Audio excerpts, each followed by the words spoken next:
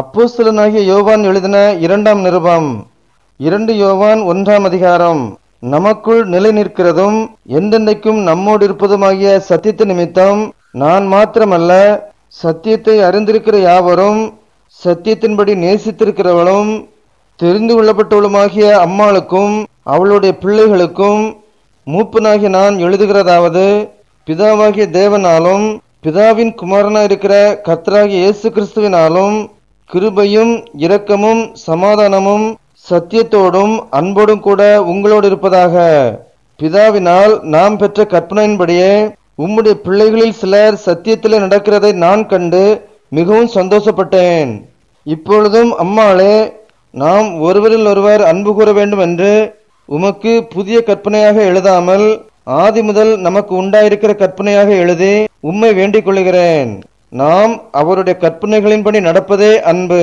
நீங்கள் ஆதி முதல் கேட்டிருக்கிறபடி நடந்து கொள்ள வேண்டிய கற்பனை இதுவே. மாம்சத்தில் வந்த இயேசு கிறிஸ்துவை அறிக்கை பண்ணாத அநேக வஞ்சகர் உலகத்திலே தோன்றியிருக்கிறார்கள். இப்படிப்பட்டவனே வஞ்சகனும் அந்தி கிறிஸ்துவுமாய் இருக்கிறான். உங்கள் செய்கைகளின் பலனை இழந்து போகாமல் பூரண பலனை பெறும்படிக்கு எச்சரிக்கையாயிருங்கள். கிறிஸ்துவின் உபதேசத்திலே நிலைத்திராமல் மீறி நடக்கிற எவனும் தேவனை உடையவன் அல்ல. கிறிஸ்துவின் உபதேசத்தில் நிலைத்திருக்கிறவனோ பிதாவையும் குமாரனையும் உடையவன். ஒருவன் உங்களிடத்தில் வந்து இந்த உபதேசத்தை கொண்டு வராமல் இருந்தால் அவனை உங்கள் வீட்டிலே ஏற்றுக்கொள்ளாமலும் அவனுக்கு வாழ்த்துதல் சொல்லாமலும் இருங்கள்.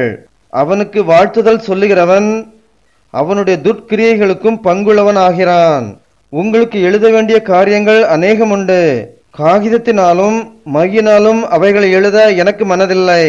உங்களுடைய சந்தோஷம் நிறைவாயிருக்கும்படிக்கு உங்களிடத்தில் வந்து முகமுகமாய் பேசலாம் என்று நம்பியிருக்கிறேன். தெரிந்து கொள்ளப்பட்ட உம்முடைய சகோதரின் பிள்ளைகள் உமக்கு வாழ்த்துதல் சொல்லுகிறார்கள். ஆமேன்.